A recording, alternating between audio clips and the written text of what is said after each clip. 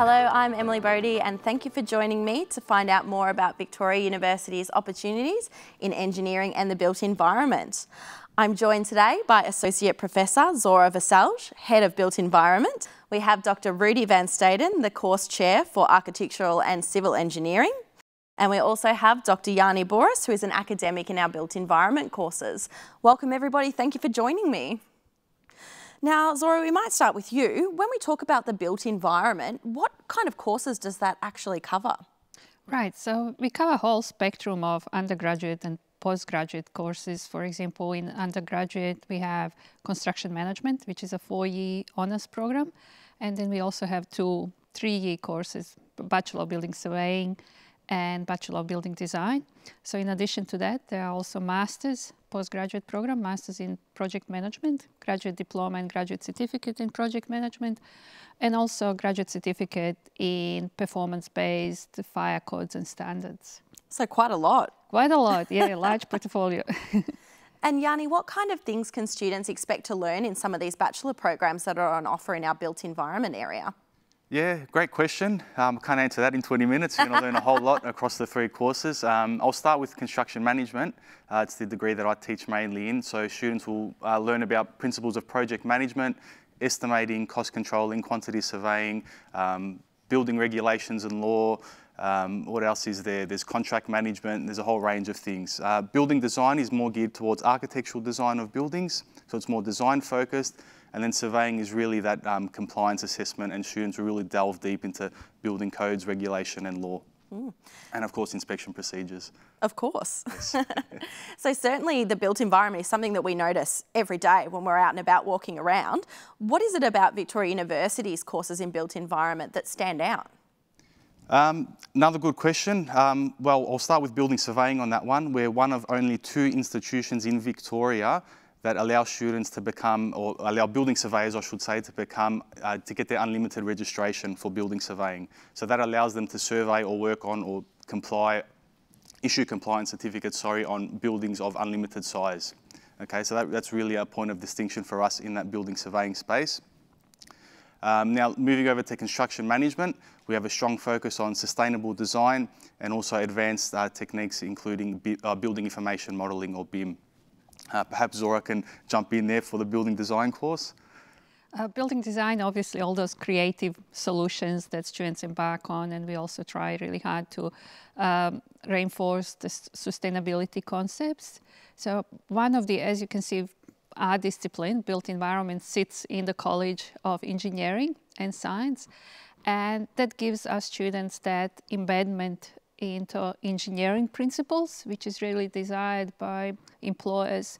For example, students understanding how the structures standing to, uh, standing up, how they came to be practical skills, constructability, um, obviously uh, good uh, good grasp of physics concepts. Mm. So that's something that we pride ourselves in. Obviously, we have, uh, as you can see, all of us in here are engineering backgrounds. So yeah.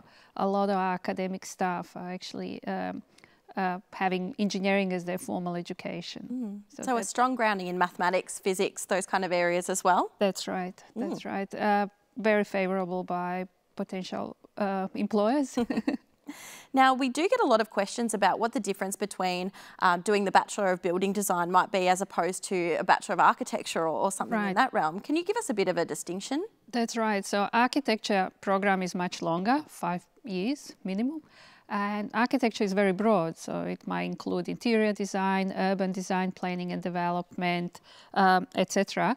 But in our case, it's a focus architectural design of buildings. So it's a very specialized, specialized one. We also provide quite a number of pathways for our uh, TAFE students. So we, for all three programs, construction management, building surveying, and building design, uh, we also have structured pathways which allow them to achieve credit of either a year or year and a half of their study. So depending which course they select. Great. Now, Rudy, you work across our architectural and civil engineering courses, but we do have a range of disciplines when it comes to engineering. Can you tell us a bit about what's on offer? Please, uh, thank you very much, Emily. Before I tell you, I want to tell you some exciting news. Um, the recent graduate outcome surveys ranked engineering first in Victoria for our teaching practice, so the way that we teach students, and also the skills developed by our by, by our students. I just wanted to let you know that. That's exciting news, yeah. Um, in terms of undergraduate, we've got four areas of specialisation, architectural, civil, mechanical and electrical engineering. And in uh, postgraduate, we've got the Master of Engineering, specialising in telecommunication and power engineering. So something that not a lot of students might know is that our engineering courses all share a common first year. What might some of the advantages of that be? Often when um, students start in their first year um, of engineering, they might commence engineering because they liked Lego or some reason like that. I'm not really sure which area they want to choose. And the, the good thing about first year, and I think this distinguishes us from other institutes, is that the first year gives students the taste of all of the different sub all of the different disciplines in engineering. So students can then discover their passion and pursue it in later, later years. Great, so a bit of flexibility there for students who might not be 100% sure on what they want to do. Now, something that's so important, and I'm sure you'll all agree, and apologies if you don't, uh, things like facilities and the workplaces and work structures that universities or TAFEs have in place is really important when it comes to something as practical and hands-on as engineering and built environment. Yanni, can you give us a bit of an understanding about what kind of facilities are available to our built, in, um, built environment students? Yeah, uh, we've recently uh, built a new design studio, so it's quite an exciting space over in um, Building D. So that's a that's a space designed open to everyone in the college, but it's really there for design students. So we've got you know big screen monitors everywhere, um, big workbenches, and that's designed for students to get their hands dirty and really spend a lot of time uh, designing or working on their arch architectural design projects. So that's an exciting new space. Um, we've also got um, the old engineering labs where we do a lot of our work. Um, Rudy spends a lot of time in there mixing concrete and breaking things, but um, so in, in, in, those spaces, he's got an example now of some concrete. Do you carry the yeah. concrete around with you yeah. usually, Rudy? All the time. yeah, yeah, he loves that. Um, so in those labs, we can do a lot. We can do concrete mixing, obviously. So that's where students can uh, get their hands dirty and mix concrete, learn about mixed design, and also how we test concrete strength, uh, in addition to a few other structural parameters. Uh, but I won't, won't, bore everyone with the details now. Uh, we've also got a hydraulics lab. Um, Rudy, is anything that I'm missing? oh, um, we've got a Victorian, the, one of the largest Victorian substations for our electrical engineering students, um, and it's valued at $3 million, Ooh. and it's in conjunction with a few industry partners. And we've got, forgive me, we've got, um, we've got a, a, a, the second largest wave tank simulator. We've also got a wind tunnel, um, a large, uh, downscaled and a, and a larger wind tunnel. Uh, and uh, I think, Yanni, I think you covered most of it. And we've also got a, um, like Andrew will mention later on, we've got a student formula vehicle which the mechanical engineering students um, get to work on through their cool. studies. But the, the thing um, I think that's important about these labs is um, they focus around problem-based learning. So students are not stuck in a lecture lecture room uh, listening to somebody um, just telling them the concepts. They actually go down go down to the labs and they get their hands dirty. Mm. They can really understand the concept so much better in that way. So. Mm. I think we've talked a lot throughout these panels as to what students can do to get their hands dirty, but I think actually getting in and mixing concrete is probably the best example that you can get and get of students literally getting their hands dirty. So it's interesting that you bring up the substation, Rudy, because we're actually about to cut there in a moment. But before we do, I want to thank you so much, Yanni, for coming to spend some time with us. Thanks for having me. Anytime. We'll be hearing from Andrea, who's one of our mechanical engineering students, up just after this. But before we do, I'd like to cross to Bobby McCumber, who is on site at the substation at Victoria University's Footscray Park campus. Bobby, how are you? I'm doing great. Thank you very much for asking, Emily. Uh, I'm joined now by Pejman Payday, who is a PhD student with the College of Engineering and Science, also known as PJ. Now, PJ, tell us exactly where we are right now. Uh, basically, we are in Victoria University Zone Substation uh, uh simulator. So it is one of the first uh, uh, laboratories that was used and developed by Victoria University to cooperation with uh, other industry partners for uh, power system engineering department in Victoria University. Now, this equipment here, is this something that our students will use in their careers? Or, and if it is, uh, what are those careers? Uh, yes, actually, this is the $3 million uh, basically facilities that are available for students to have a real world experience on, of the modern uh, power system equipment, especially intelligent electronic devices, which we call it IEDs. And this is uh, basically is uh, one of the main um, components and elements that used in power system utilities. So there are a lot of engineering uh, requirements like power systems and uh, IT guys and all of these experts are working uh, in the this uh, field in the power system engineering. What are some of the benefits for our students using state-of-the-art facilities? Uh, basically, this is the opportunity that they have uh, to have hands-on experience to work with real-world devices and this will give them the edge with comparing to other students who have not that experience to have uh, exposed with these uh, um, real equipment and also state-of-the-art uh, uh IT equipment. So this is the opportunity that they may get much opportunities for job uh, interviews and job um, positions. Yeah a $3 million facility. It's, it's quite amazing to be a part of that here at Victoria University.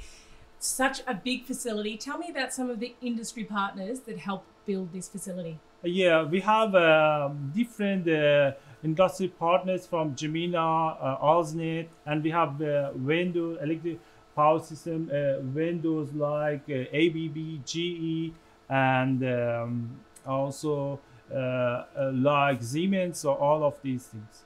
Well, thank you very much for your time. We've learned a lot. I hope you've learned a lot at home tuning in as well. Um, I'll go through to you, Emily, as well, and just ask about some of our industry partners and what their involvement is with the College of Engineering and Science. That's a great question. Zora, maybe you can tell us a little bit more about how industry is embedded into our built environment and engineering courses. Right, that's a great question.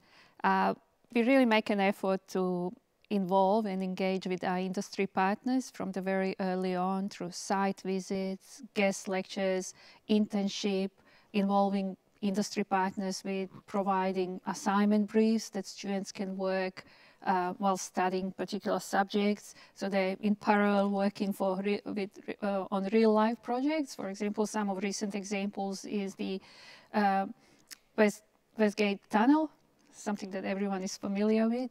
Uh, and then later on in more senior years on their research projects where projects can be co-supervised with industry partners. So a lot, a lot of opportunities. We also have course advisory committees which involve um, industry people. So they are engaged from the very early on in shaping and reviewing our courses, but also having one-on-one -on -one experience for our students.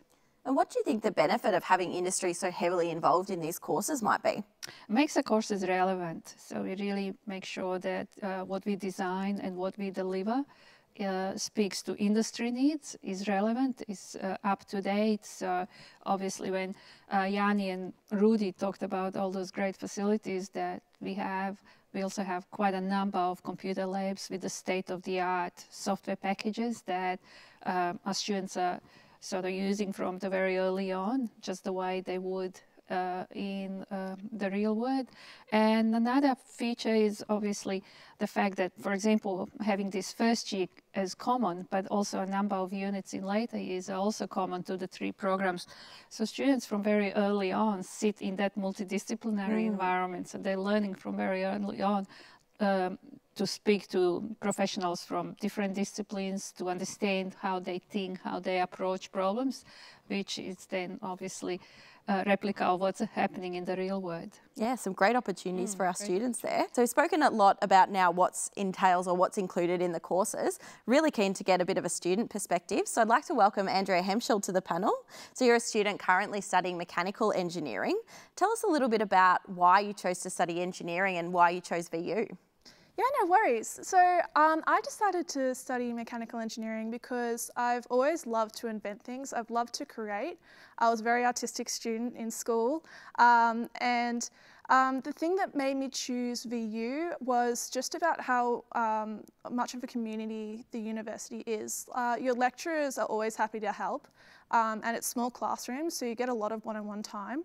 Um, there's been so many occasions where I've had a question about um, like the course um, or a problem that I needed to solve um, and I've been able to just walk into my lecturer's office and ask them straight away and they're, they're so happy to help.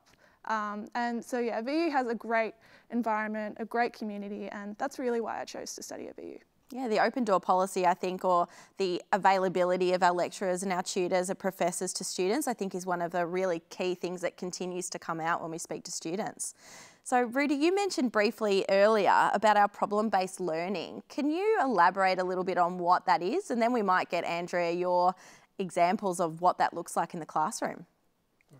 That's a, that's a really good um, question. Um, problem-based learning, we try to uh, imitate what students will experience in industry. And like Professor Vrcelj was saying, we've got a lot of industry input, and industry often has input into these, uh, into problem-based learning. And how they do that is through the assessments. So the assessments will be very similar to what uh, um, a, a, graduate engineer might experience.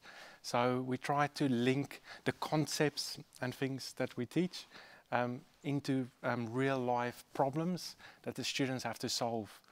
And having to solve a problem makes it so much more interesting. Mm. Um, and sort of following on what Professor Vrcelj was saying before, um, one of the exciting projects that students are working on at the moment is um, the, tackling some of the design challenges that Transurban faced with the West Gate Tunnel project.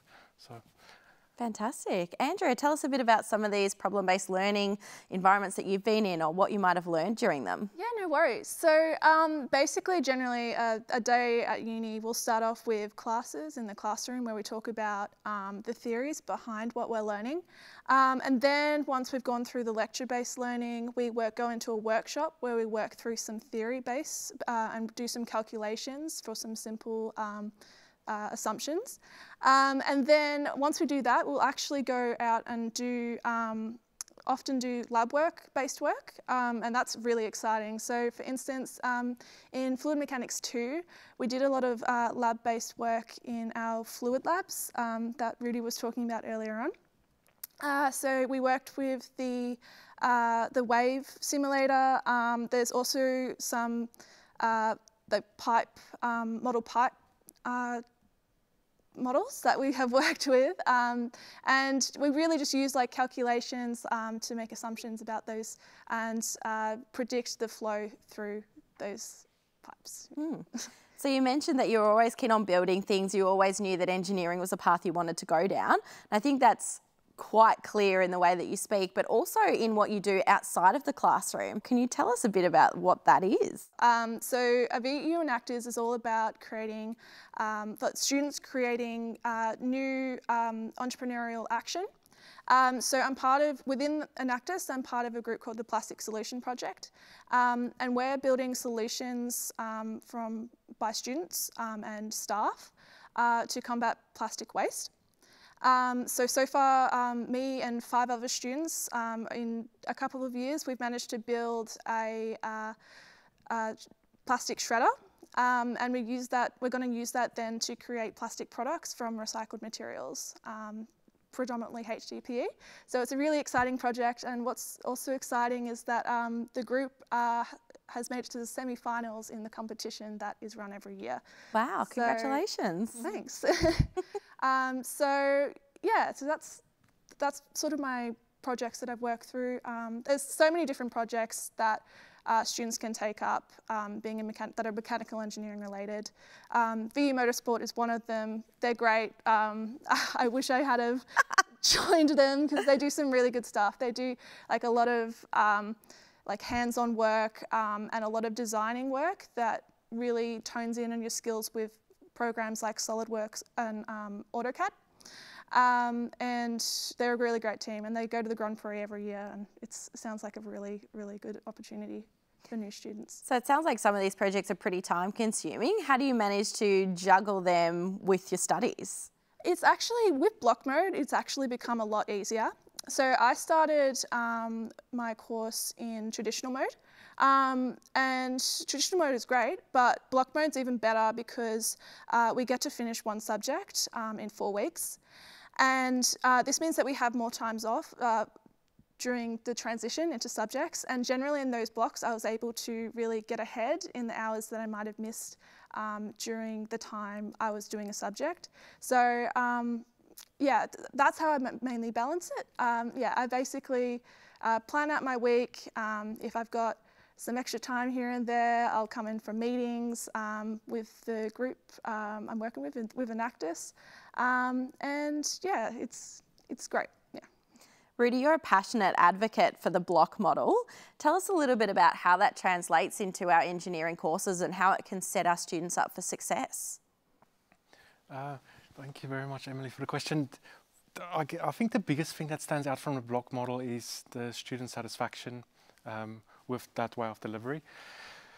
And offer our students, and I think this is a big um, thing for many people that want to study, is how do you juggle um, work, family, everything at the same time, plus four subjects or mm. units at mm. the same time. And then often there, there will be four exams of three hours in duration at, in the same week.